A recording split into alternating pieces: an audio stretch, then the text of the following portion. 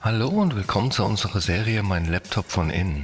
Hier möchte ich euch in einem schnellen Überblick zeigen, wie ihr den Akku tauscht und wie ihr an die wichtigsten Komponenten herankommt, wie SSD, RAM, Lüfter. Ich zeige euch dabei das Innenleben des Laptops. Ich zeige euch auch, was es an Tipps und Tricks noch gibt, was ihr vielleicht beachten müsst. Und dass es im Grunde genommen nicht so schwer ist, einen Laptop aufzuschrauben und an die einzelnen Komponenten heranzukommen. Legen wir los.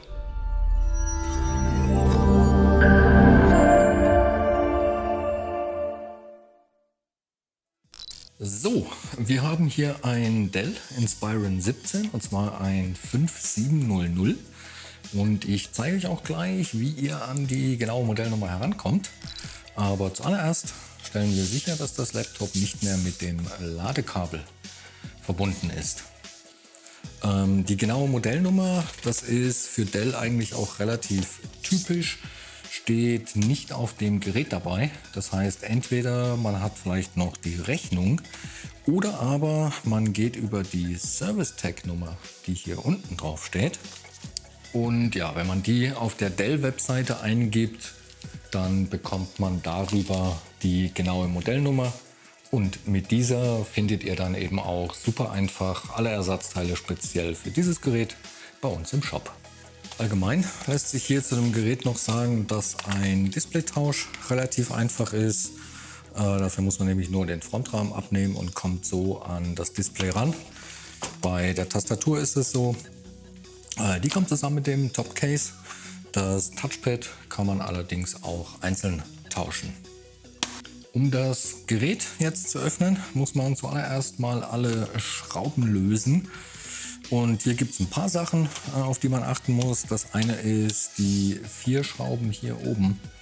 Die werden nicht komplett ähm, rausgeschraubt, sondern nur gelockert. Okay, die bleiben also im Gehäuse. Dann haben wir hier die Schraube, die das Laufwerk hält und auch das muss zwingend vorher ausgebaut werden. Und diese beiden Schrauben hier sind etwas kürzer als der Rest während die anderen Schrauben dann gleich lang sind. Also am allerbesten ist es wirklich, ähm, sich alle Schrauben hier separat hinzulegen und sich zu merken, wo was war. Und genau unter dem Laufwerk, das kann man hier einfach zur Seite rausziehen, sind auch noch mal zwei Schrauben. Und die Schrauben sind ähm, noch mal anders, die sind noch mal ganz klein, also auch die am besten direkt getrennt ablegen. Ganz generell ist es so, ich benutze hier für alle Arbeiten am Laptop ähm, ein super praktisches Universalwerkzeugset. Verlinke ich euch auch in der Videobeschreibung. Da ist ähm, komplett alles dabei, was man so braucht. Öffner, ähm, Pinzetten, ähm, ein Schraubendreher-Set mit Verlängerungen und allen Aufsätzen, die man so in irgendeiner Weise gebrauchen kann. Die habe ich mir jetzt hier schon mal rausgesucht. Und in dem Fall ist es so, die Schrauben hier das sind alles ganz normale Kreuzschrauben. Das heißt, in dem Fall kann man ein PH0 nehmen. Und wenn man dann alle Schrauben gelöst bzw. Ähm, rausgenommen hat, auch die unter dem Laufwerk, dann kann man die Unterseite vom Gerät trennen. Da nehme ich hier einen der Öffner, die auch im Werkzeugset mit dabei sind.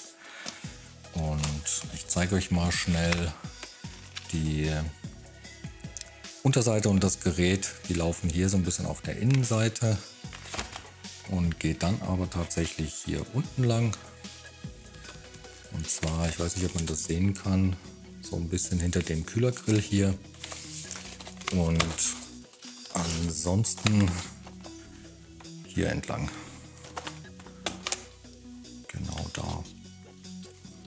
Und da würde ich jetzt in dem Fall auch versuchen anzufangen. Also ich würde da jetzt eher versuchen auf der Vorderseite anzufangen. Ähm, und dann versucht man sich hier eine Öffnung zu schaffen und hebelt das dann eben nach oben hin ab. Und das kann wirklich fürchterlich laut knacken. Das ist aber auch echt ganz normal. Das ist, wenn sich die Einraststellen hier lösen, da muss man also keine Angst haben, was kaputt zu machen. Und genau so hebelt man das dann quasi einmal um das Gerät herum.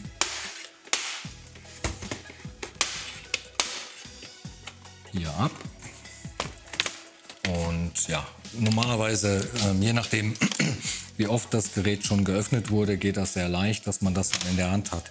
Sollte das eben mal nicht der Fall sein, dann macht man genau in der gleichen Technik ähm, einfach weiter und geht ebenso wirklich einmal um das komplette Gerät herum. Und irgendwann hat man hier alles so weit gelöst, ähm, dass man das wirklich mit ein bisschen Rütteln und Wackeln dann eigentlich auch schon einfach abziehen kann. Und ja, schon hat man das Gerät offen. So, bevor wir jetzt irgendetwas weiteres hier machen, ähm, immer zuallererst den Akku vom Mainboard trennen, dass das Gerät wirklich keinen Strom mehr hat. Und in dem Fall sieht man hier die Verbindung und das heißt, da zieht man den Stecker einfach nach hinten hin raus und ja, schon ist da kein Strom mehr drauf. Gut, dann schauen wir mal, was wir hier noch sehen können. Ähm, in dem Fall ist hier drüben eine 2,5 Zoll Festplatte eingebaut. Sollte da keine drin sein, kann man die eben nachrüsten. Ähm, und zwar gibt es dazu das Gehäuse und äh, man braucht auch den Adapter von ähm, SATA. Und das läuft dann hier an das Mainboard. Das ist mit einem Kippschalter verbunden, zeige ich aber später beim Touchpad noch. Und ja, das wird hier im Grunde genommen auch nur von den vier Schrauben gehalten und dann kann die ja hier seitlich verschraubt werden und SATA-Stecker drauf und fertig. Das ist also kein Problem. Dann sehen wir hier drüben die SSD. Hier sind die beiden RAM-Riegel. Da ist das WLAN-Modul. Dann haben wir hier noch den Lüfter und den Heatsink, der CPU und Grafik ähm, kühlt. Und ja, was man hier noch sieht, ist, dass man, falls der USB-Slot oder ähm, mal kaputt geht, dann kann man den tatsächlich auch tauschen. Ähm, das ist echt super praktisch. Und wir sehen auch direkt hier drüber noch die CMOS-Batterie, die sich auch einzeln tauschen lässt. Und da ist es so, die schiebt man so ein bisschen nach unten. Da kann man sich auch eine kleine Hilfe nehmen. Und dann kommt die so einfach raus. Und genau so kommt ihr dann auch wieder rein. Nach unten drücken. Schwuppdiwupp, kein Hexenwerk. Eine andere Besonderheit ist noch, dass man auch das ähm, Strombuchsenkabel bzw. den Anschluss, wenn der mal bricht oder kaputt geht, den kann man auch einzeln tauschen. Das ist dieses Kabel hier. Das läuft unter dem Scharnier, also man muss eigentlich nur das Scharnier losschrauben und kann die Strombuchse samt Kabel hier super einfach tauschen. Also schon ein äh, recht nachhaltiges Gerät. Um den Akku auszubauen, äh, muss man nur die Schrauben hier drumherum rausnehmen. Muss ich mal einen anderen Aufsatz versuchen. Ja, die geht jetzt nicht raus, die muss ich nachher auf anderen Wege irgendwie rauskriegen. Ähm, ich will euch auf jeden Fall noch zeigen, dass man, wenn man den Akku losgeschraubt hat, man das eben eigentlich einfach hier ähm, hochhebeln kann. Und die zweite Besonderheit ist, dass man das Kabel hier tatsächlich ähm, behalten muss. Ähm, das ist hier nur eingesteckt. Das sieht so aus. Und das braucht man dann für den neuen Akku. Ähm, genau, das muss da dann wieder dran und wird da natürlich genauso wieder verbunden. Und ja, so kann man den Akku dann tauschen. So, ähm, genau, also ich habe die Schraube jetzt hier unten mit einem noch größeren Aufsatz ähm, einfach rausgemacht. Mit ein bisschen Druck von oben und eben einem größeren Aufsatz ging das dann. Dann kann ich euch das nämlich jetzt hier nochmal zeigen. So sieht der aus. Und ja, wie vorhin schon erwähnt, also das Kabel hier dann einfach behalten. Und genau. So, unter dem Akku kann man hier jetzt übrigens auch das Touchpad sehen, was sich wie gesagt auch einzeln tauschen lässt. Und da sieht man einmal hier oben die Schrauben, die müssen raus und äh, auch das Kabel und das ist eben ein Kippschalter, ein bisschen aufgeklebt hier. Der funktioniert eben so, dass man den erst aufklappen muss. Das ist eben das gleiche wie hier bei der, wo man auch das erst nach oben klappen muss. Ja, der wird nach oben aufgeklappt, dann gibt er das Kabel frei. Und ja, dann kann man das Touchpad quasi von oben durchdrücken und dann von der anderen Seite entgegennehmen. Und beim Wiederverbinden, man sieht das schon hier, die äh, schwarze Linie, die gibt quasi an, wie weit das wieder rein muss, wann es richtig ist. Und dann friemelt man das hier rein, das war es noch nicht. So, jetzt. Und dann klappt man das zu. Und genau, und so kann man das Touchpad eben auch relativ einfach hier tauschen.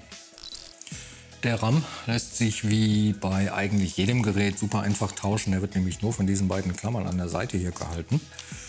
Wenn man die so ein bisschen nach außen zieht, dann ja, kommt der einem ja quasi schon entgegen, kann dann aus dem Sockel gezogen werden und eben getauscht oder auch eingebaut werden. Und das ist genauso einfach. Das kommt in den Slot zurück und wird nach unten gedrückt, bis die beiden Klammern wieder einrasten. Und ähnlich einfach ist auch die SSD. Die wird nämlich nur von einer Schraube hier unten gehalten. Und sobald man die draußen hat, kann man die so ein kleines bisschen nach oben hebeln. Nicht zu so viel, dass sie abbricht und dann nach hinten rausziehen. Und ja, im Prinzip genauso der Einbau.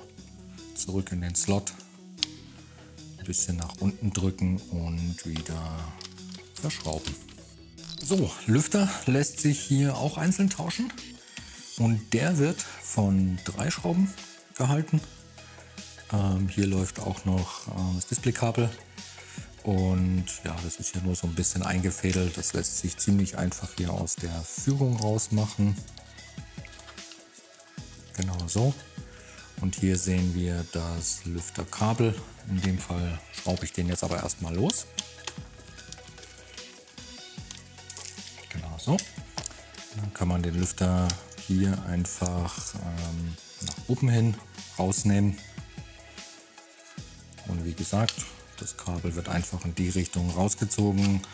Man kann das schon am Kabelbund machen. Ich gehe dann auf Nummer sicher und fasse das direkt am Stecker. Und dann noch eine Besonderheit. Je nachdem, wie der Lüfter geliefert wird, wie rum das Kabel ist. Manchmal ist der auch nicht wirklich markiert. Aber man kann halt auf einer Seite von dem Stecker hier die Kontakte sehen. Und in dem Fall zeigen die nach unten, wenn man das wieder verbinden will. Und auch das würde ich jetzt zuerst machen, dass man das auch nicht vergisst. Das wäre nämlich nicht so prickelnd. Das heißt, erst das Kabel wieder verbinden und dann kann man den Lüfter hier einfach zurück auf die Gewinde legen. Der sitzt dann passgenau das Kabel hier wieder einfädeln. Kann man auch am Ende machen, das spielt da keine Rolle. Und ja, dann einfach wieder verschrauben und eine schöne, einfache Geschichte.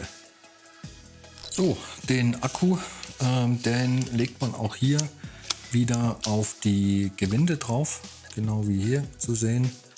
Und ja, dann wird der eben wieder verschraubt. Man kann auch tatsächlich, wobei das hier glaube ich ganz gut geht, ja, ähm, die, das Kabel zuerst verbinden, aber in dem Fall ist das jetzt nicht notwendig. Und dann wird er einfach wieder verschraubt. Genau, die hier unten äh, werde ich dann durch eine neue ersetzen, äh, auf jeden Fall aber trotzdem verschrauben. Und dann natürlich ganz, ganz wichtig, nicht vergessen, das äh, Kabel wieder zu verbinden, damit das Gerät dann auch wieder Strom bekommt. Sonst muss man das nochmal aufmachen. Und ja, und schon kann man eigentlich auch die Unterseite wieder verbinden. Ja, und die wird jetzt einfach von oben auf das Gerät draufgelegt und dann nach unten hin festgedrückt. Kann man auch feste zudrücken hier auch in der Mitte, bis alles wieder einrastet. Ich gehe am Ende auch immer noch einmal um das Gerät herum und schaue, dass da wirklich alles verschlossen ist, keine Lücke mehr zu sehen ist. Genau so.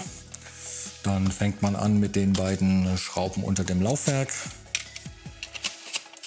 Das wieder rein und dann kann man die restlichen Schrauben ähm, festziehen bzw. einschrauben und ja, so schnell geht das hier.